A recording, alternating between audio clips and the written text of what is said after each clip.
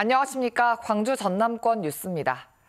지난 항저우 아시안게임에서 지역 출신 안세영 선수가 금메달을 목에 걸면서 배드민턴에 대한 관심이 더 높아졌는데요. 어제 폐막한 2023 코리아 마스터즈 배드민턴 선수권 대회에도 전국의 동호인과 꿈나무들이 찾아서 경기를 즐겼습니다. 김혜린 기자의 보도입니다. 항저우 아시안게임 배드민턴 여자 단체전에서 금메달을 목에 건 국가대표 김가은 선수. 그 기세를 이어 2023 코리아 마스터즈에선 여자 단식 결승에 올랐습니다. 날카로운 대각선 공격이 잇따라 성공하고 허를 찌르는 상대방의 공격은 빠른 발로 막아냅니다. 첫 세트를 내주고 두 세트를 잇따라 가져오며 세계대회 정상을 차지합니다. 지난 7일 광주에서 개막한 2023 코리아 마스터즈 배드민턴 선수권 대회는 월드 랭킹이 부여되는 국제 대회입니다. 이번 대회에는 27개국 270여 명의 선수들이 참가했고 우리나라는 여자 복식과 단식, 혼합 복식까지 세계 종목에서 금메달을 따냈습니다. 올림픽을 앞두고 선수들의 그 몸 상태나 이런 걸 점검하는 차원에서 상당히 중요하다고 보고 있고요. 경기장을 찾은 전국의 배드민턴 동호인들은 정상급 선수들의 경기 관람에 흥분을 감추지 못합니다. 실제로 그 선수들을 바로 눈앞에서 볼 수 있어가지고 너무 박진감 넘치고 또 서승재 최유정 선수가 처음에 이겨줘가지고 너무 즐거웠습니다. 무릎 부상으로 이번 대회에 불참한 세계 1위 안세영 선수는 팬사인회를 통해 고향 팬들을 만났습니다. 안세현 승이 너무 팬인데요. 이렇게 실제로 봐서 너무 좋고 부상 당하셔서 마음이 너무 아팠는데 잘 이겨내시고 모든 경기 응원하겠습니다. 화이팅! 2017년부터 광주에서 열리고 있는 코리아 마스터즈 선수권 대회가 제2의 안세영을 발굴하는 요람으로 발돋움할지 주목됩니다. KBS 뉴스 김혜린입니다.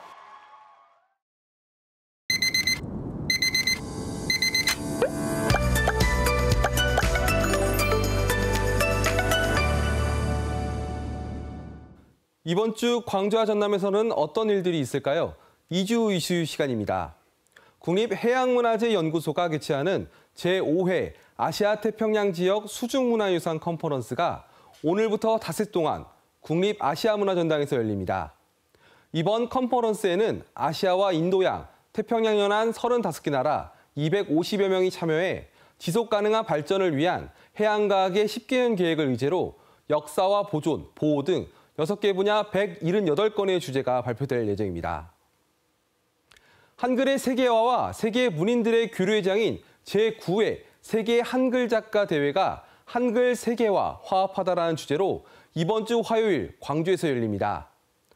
이번 작가 대회에는 4.3 사건을 다룬 소설 순이 삼촌을 쓴 작가 현기영과 한국 최초 밀리언셀러 소설가 김홍신, 세계 문학상인 맨부커상에 이어 메디치상을 받은 작가 한강 등이 강연과 함께 독자와 대담을 갖습니다.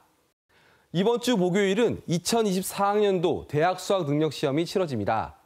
올해 수능은 4년 만에 마스크와 칸막이 없이 치러질 전망입니다. 또 코로나19 확진자도 올해는 일반 수험생과 함께 같은 고사장에서 시험을 보게 됩니다. 전남교육청은 학생들의 단체 응원을 허용했고 광주는 수험생에게 지장을 주지 않는 선에서 차분한 응원만 허용하기로 했습니다. 또 목요일에는 광주 과학기술원 지스트가 설립 30주년 기념식을 개최합니다. 지스트는 1993년 설립된 이후 지금까지 7,900여 명의 이공계 인재를 배출했는데요. 설립 30주년을 맞은 지스트가 4차 산업혁명을 주도하는 아시아 인공지능 본거지로 자리매김할 수 있을지 주목됩니다. 금요일에는 호남 권역 신종 감염병 공동 대응 모의 훈련이 열립니다. 코로나19 이후로 신종 감염병에 대한 관심이 커지고 있는데요. 이번 모의 훈련은 신종 감염병 발생 상황을 가정해 긴급 병상 확보 등을 점검하고 완결형 의료 대응 체계 구축에 나설 예정입니다.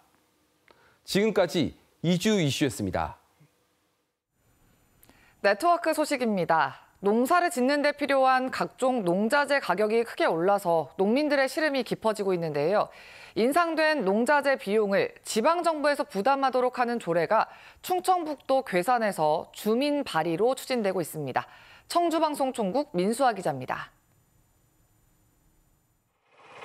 괴산에서 15년 넘게 배추 농사를 지은 이중규 씨.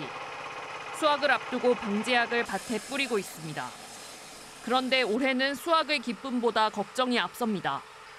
비료며 농약이며 각종 농자재 값이 올라 예년 수준의 소득을 기대하기 힘들기 때문입니다. 순소득은 계속 줄어요. 왜냐하면 자재나 인건비가 계속 늘어나니까. 비료가 제일 많이 올랐어요. 특히나 그때 요소의 사태 때 비료가 1200원짜리가 그 다음에 2만 1,800원 막 이런 식으로 통계청이 발표한 지난해 농가 연평균 소득은 4,615만 원. 이 가운데 농업 소득은 949만 원으로 전년보다 26% 감소했습니다. 특히 최근 불안한 국제 정세로 농자재 가격이 올라 생산비가 증가하자 농민들이 직접 지원 조례를 만드는 데에 나섰습니다. 조례 안에는 2022년 이전의 농자재 가격과 비교해 현재 가격이 오른 품목의 상승분을 괴산군이 지원한다는 내용을 담았습니다. 농민단체는 조례 제정을 위해 다음 달부터 본격적인 서명 운동을 벌일 예정입니다. 조례 제정을 위한 청구인 수는 괴산군 인구의 20분의 1인 1,750명입니다. 12월 달서부터 본격적으로 이 저희들은 서명을 좀 받는데 관내에 실적으로 이제 농업에 종사하고 있는 이 부분으로 하면은 한 16,000명 정도 되기 때문에 저희들은 가능하다고 좀 보고 있습니다. 앞서 지난달 충남 공주시에서 전국 최초로 필수 농자재 비용 일부를 자치단체가 지원하는 조례가 제정된 상황. 괴산을 비롯해 전북과 경북 등 전국 곳곳에서도 주민 발의로 비슷한 내용의 조례 추진이 잇따르고 있습니다. KBS 뉴스 민수아입니다. 전라남도가 오는 24일까지 지역 농협과 축협을 통해 양파에 대한 농작물 재해보험 가입 신청을 받는다고 밝혔습니다. 양파 재해보험은 태풍과 폭설, 냉해와 폭염 같은 자연재해와 화재에 따른 피해를 보장받을 수 있고 전라남도가 보험료의 90%를 지원합니다. 지난해 전남에서는 2,160개 농가 8천 1,812헥타르가 양파 재해보험에 가입해 자부담 금액보다 19배 많은 81억 원이 보험금으로 지급됐습니다. 광주시가 중소벤처기업부의 지역 특화 프로젝트 공모 사업에 잇따라 선정됐습니다. 광주시는 미래차 전환 소부장 특화 명품 선도기업 육성 사업과 지역 성장 사다리 점프업 프로젝트가 중기부 공모에 선정돼 조만간 국비 지원 규모가 확정된다고 밝혔습니다. 광주시는 이를 통해 주축 산업을 견인하는 중견 기업을 육성하고 지역 산업의 최대 약점인 대기업에 의존하는 산업 구조 해소를 위해 노력하겠다고 설명했습니다. 상수관로 개량 공사로 광주 광산구 우산사거리 일대 도로가 통제됩니다. 광주시 상수도 사업본부는 덕남 정수장의 물을 남구와 광산구에 공급하는 노후 상수관로를 개량하기 위해 오는 16일까지 우산교차로 공사 구간의 왕복 3개 차로 가운데 2개 차로를 통제한다고 밝혔습니다. 사업본부는 공사가 끝날 때까지 신호수와 안내 간판을 설치해서 교통 불편을 최소화하겠다고 설명했습니다. 올해 전남 지역에서 발생한 산불이 지난해보다 11% 증가한 것으로 나타났습니다. 전라남도는 올해 들어 지난달 말까지 도내에서 모두 51건의 산불이나 지난해 같은 달 대비 11% 증가했으며 피해 면적은 952헥타르로 집계됐다고 밝혔습니다. 전남도는 또 산불 예방과 초기 대응을 강화하기 위해 산불 전문 예방 진화대 134명을 선발하고 산불 발생 빈도가 높은 산림과 등산로 712km 구간을 입산 통제 지역으로 지정 고시해 소각 행위 등을 집중 단속할 방침입니다. 공사비를 부풀려 예산을 횡령한 혐의로 1심에서 징역형을 선고받은 공무원이 항소심에서 무죄를 선고받았습니다. 광주지법 제2형사부는 2017년 12월 한 체육공원의 보수공사비를 건설사에 지급하고 건설사로부터 350만 원을 돌려받은 혐의로 기소된 신안군 전직 공무원 60살 A씨에게 원심을 깨고 무죄를 선고했습니다.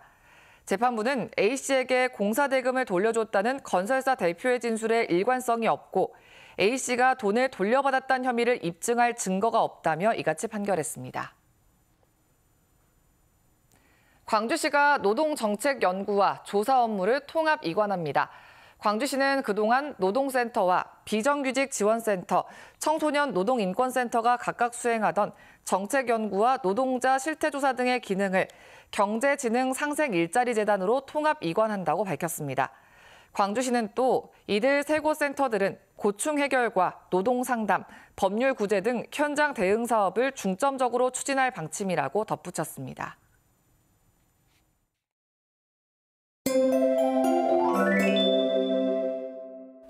오늘 아침은 어제보다도 더 따뜻한 옷차림 하셔야겠습니다. 아침 기온이 큰 폭으로 내려갔는데요. 광주와 보성의 아침 최저 기온 1도 안팎, 곡성은 영하 1.9도까지 뚝 떨어졌습니다. 낮 기온도 10도 안팎으로 평년보다 4도에서 6도가량이나 낮아 춥겠습니다.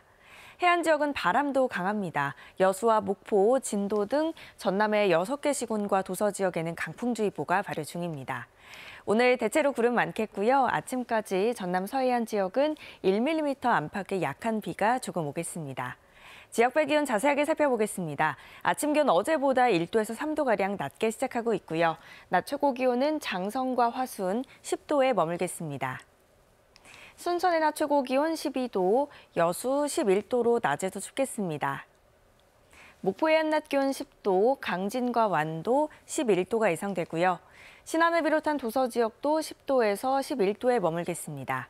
서해남부 전해상에는 풍랑주의보가 발효 중입니다. 오늘까지 바람이 강하고 물결이 최고 3.5m로 높게 일겠습니다. 기온은 내일 낮부터 점차 올라서 모레는 평년과 비슷해지겠고요. 목요일 오후에 비 소식 나와 있습니다. 날씨였습니다. 11월 13일 뉴스광장 마칩니다. 시청해주신 여러분 고맙습니다.